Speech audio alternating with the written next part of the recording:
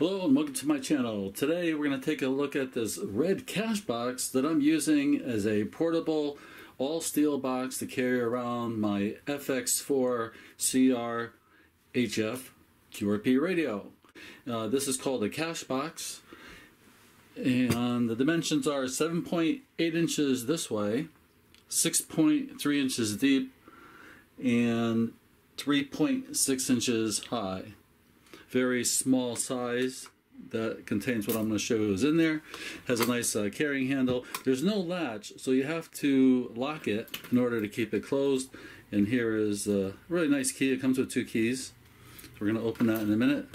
Um, very rugged, very well made steel box. What's pretty amazing about it is there's no latches showing and the lid overhangs the um, the lip that's on here so it's actually recessed in here so it gives it a pretty good seal.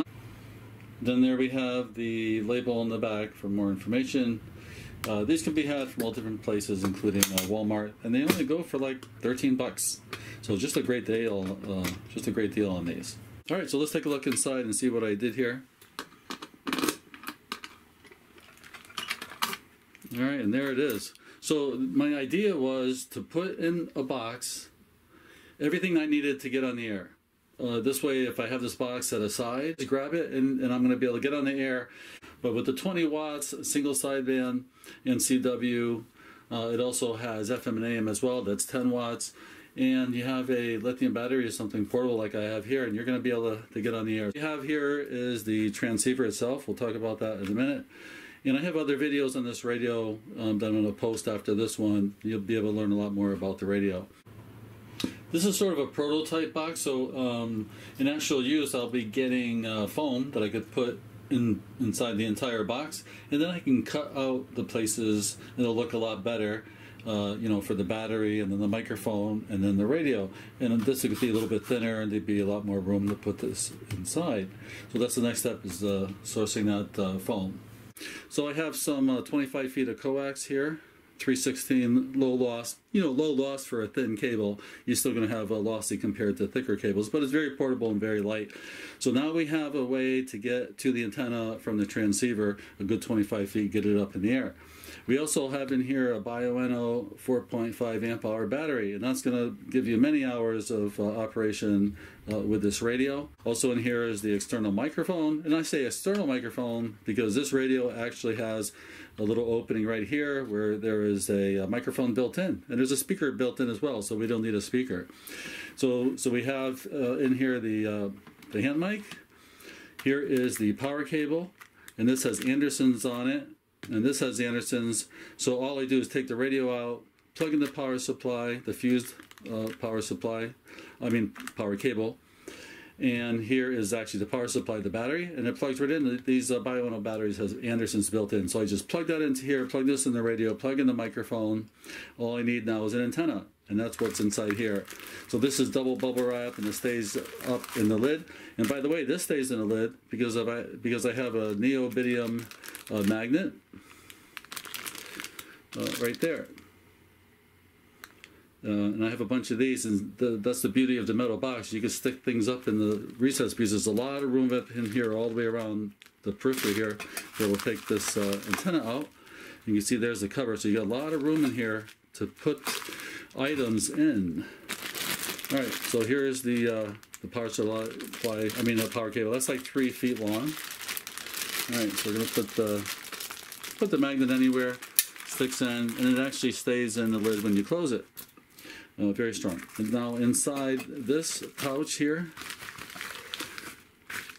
so this protects the top of the radio when you close the lid, as well as holding the antenna. And here we have a pack antenna.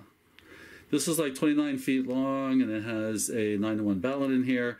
And then this here, you can you know put it up in a tree and uh, do whatever configuration you, you want to do with this. This usually requires a tuner, um, but on the different bands, you can find frequencies that you're going to keep the, the SWR uh, really low. Uh, but for those who don't want to use a tuner, and it's going to be all self-contained, another idea that you can do instead of the PAC-10 or if you don't want to buy a PAC-10 or another small antenna like that already built, you can get something like this. This is a power um, adapter, but these come in BNC. So you hook this to your your coax here, and you can hang it in a tree, hang it at some high point on a pole or something, or whatever makeshift thing you would find, post-apocalyptic or whenever you're going to be using it, or all the time. You could use this box and just take it and operate all the time.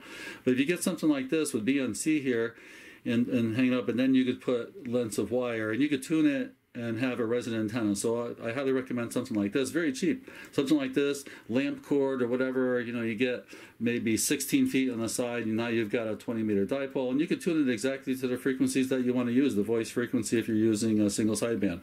And something like that will easily fit in here if that PAC-10 will fit in here. And that's all you need to get on the air in this cool little box. And uh, oh, I was going to talk about the radio for a minute. And uh, let's see, let's take it out this. Uh, this is amazing radio. It's only like four and a half inches long and, and, a couple inches deep. It is built like a tank, made in China uh, by BG2FX. And this is a 20 watt radio, which is absolutely amazing. It has a speaker here. Buttons have multiple functions. It has a it's an SDR radio with a beautiful waterfall display.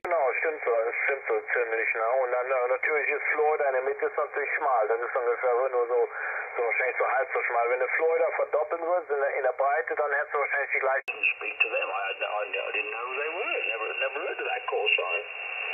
Yeah, they're limited to what, 50 watts? Yeah, yeah, I think they are.